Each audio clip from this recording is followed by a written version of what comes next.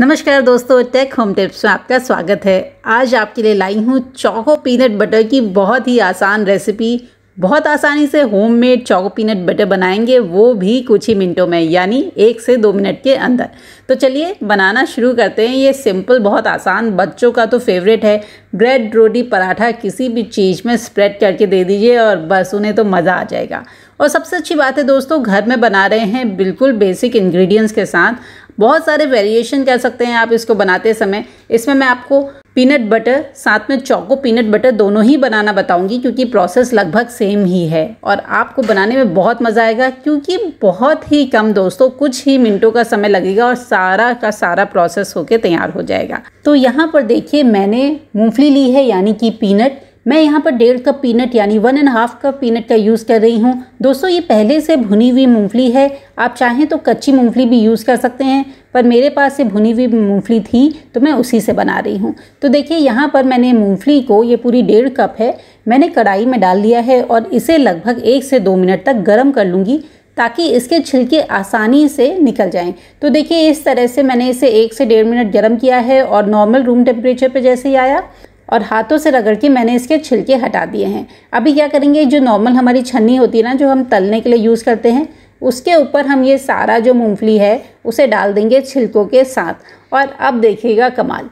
अभी क्या करेंगे, जैसे आटा छानते हैं ना सेम उसी स्टाइल से इसको छानने की कोशिश करेंगे और देखेंगे आप कि सारा इसका जो ऊपर की लेयर वाला कचरा है, सब नीचे आ जाएगा और बस छन्नी में रह जाएगी। तो क्या? मूंगफली।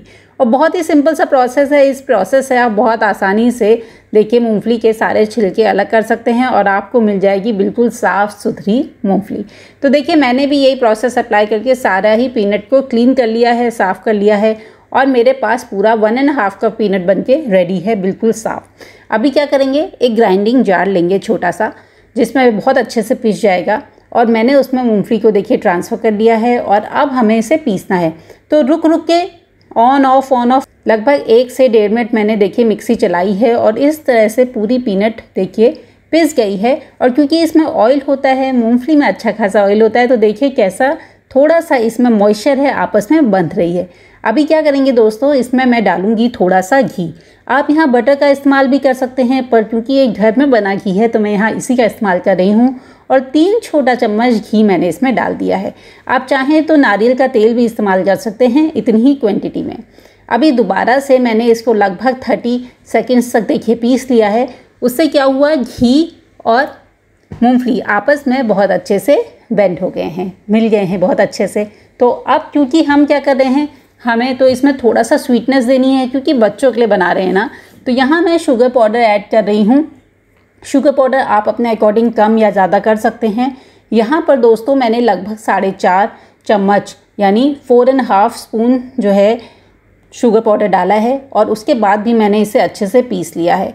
तो देखिए, इस तरह से हमारा यहाँ पर पीनट बटर बन के तैयार है। शुगर की क्वांटिटी अगर आप चाहें तो बढ़ा सकते हैं। एक या दो चम्मच अगर आप एक्स्ट्रा डालेंगे तो बहुत सही रहेगा। मैंने यहाँ पर शुगर की क्वांटिटी थोड़ी सी कम रखी है। तो देखिए, इस तरह से हमारा यहाँ पर पीनट बटर बिल्कुल बन के रेडी है। अब क्योंकि हम यहाँ पर चॉकलेट वाला पीनट बटर बना रहे हैं चौको पीनट बटर बना रहे हैं तो मैं यहाँ पर डाल रही हूँ कोको पाउडर तो यहाँ पर मैं तीन चम्मच कोको पाउडर डाल रही हूँ।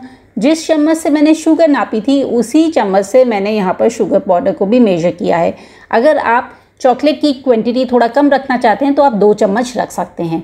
अभी देखें, दोबारा से मैं इसमें घी डाल रही हूँ। मैंने दो चम्मच, वही सेम चम्मच जिससे मैंने पहले घी नापा था, उसी चम्मच से मैंने दो चम्मच घी और डाल दिया और एक मिनट तक इसे फिर से ग्राइंड कर लिया है और पीस लिया है और बस सिंपल सा चौको बटर बनके तैयार है। देखिए, कितना शानदार हमारा चॉकलेट पीनट बटर बनके तैयार है।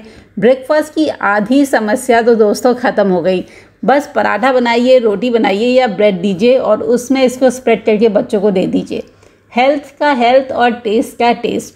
इतना पसंद आता है बच्चों को ये चॉकलेट पीनट बटर कि वो मांग मांग के खाते हैं। और जब आप बाज़ार से लेने जाते हैं तो अच्छी खासी आपको इसकी कीमत देनी पड़ती है। और घर में आपने कितनी आसानी से बिल्कुल कुछ मिनटों की तैयारी के साथ इतनी जल्दी इतना शानदार पीनट बटर बना लिया। तो दोस्तों, दो वेरिएशन है। अगर आप चॉकलेट यूज़ नहीं करना चाहते हैं तो आप पीनट बटर बना सकते हैं। और अगर आपके पास कोको पाउडर अवेलेबल है तो आप कोको पीनट बटर भी बना सकते हैं। रेसिपी ट्राई कीजिएगा। मुझे कमेंट बॉक्स में लिख के ज़रूर बताइएगा कि सिंपल आसान पीनट बटर की रेसिपी आपको कैसी लगी। मुझे आपके कमेंट का इंतज़ार रहेगा। चैनल नहीं सब्सक्राइब किया है? कोई बात नहीं, आप चैनल सब्सक्राइब कर दीजिए ताकि आपको ऐसे ही अच्छे वीडियोस देखने को मिलते रहें।